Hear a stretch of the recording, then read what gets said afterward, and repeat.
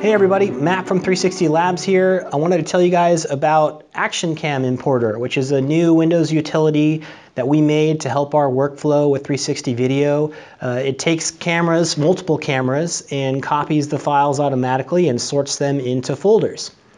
And what we use for this is a couple pieces of hardware you're going to have to get, and don't freak out, they're not that expensive. Um, you're going to want to get a USB hub. The one we have here is an Anker 10-port USB 3.0 hub. And with that, we also use these Transcend USB 3.0 card readers. And these will accept a regular SD card or a micro SD card. They're very compact, so they can fit side by side into multiple USB slots. Um, and you can get them on Amazon for about five or six bucks. We've gone ahead and preloaded our media here. We've taken six cards from our Freedom 360 camera mount and we've loaded them into the same card slots, one through six here in the same order. I'm going to go ahead and open up the application. And the first thing that we're going to do in the app is choose a destination folder. So I'm going to go ahead and just create a new folder and click OK. And that's where it's going to copy all of the video files and create the new folders per each shot.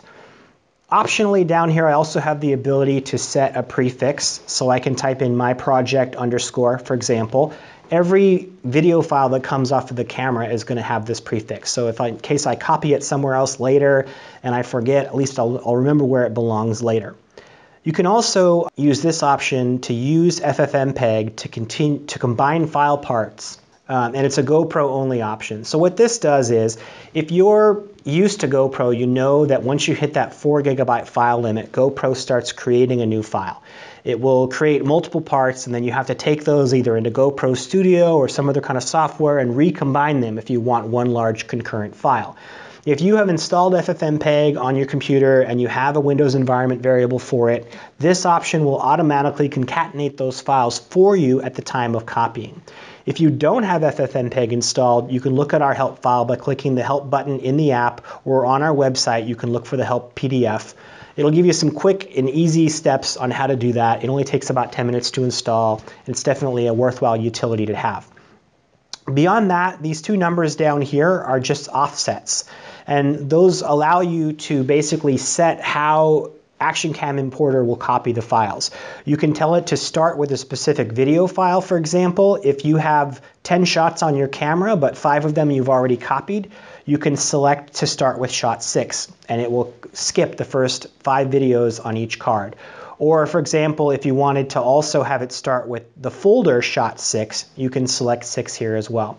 This is useful, for example, if you're on a multi-day production, you're dumping your cards every night, but maybe you don't want to format your cards, you just want to skip ahead. These options just give you a few ways for you to do that. But I'm going to go ahead and put these back to one, which is the default, which will copy everything. And I'm going to go ahead and uncheck use FFmpeg because I don't have any super long shots on here.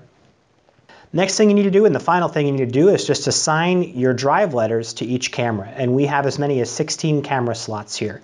So you click Browse, you have you can see all your drive letters here for the media that you've inserted. I'm going to start with drive E and continue on all the way down H. And we've got I and finally J. As you do this, you'll notice that there's a readout here that tells you how many videos are on each card.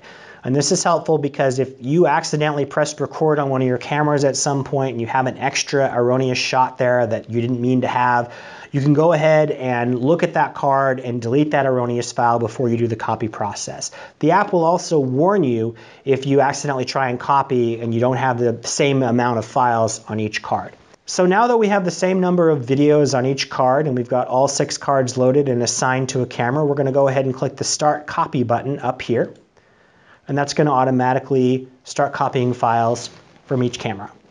Now that we're done, it says it's completed. We can close the app. Uh, we can check it out over here. If I click on the project folder, I've got shots arranged and six cams in each shot auto-magically.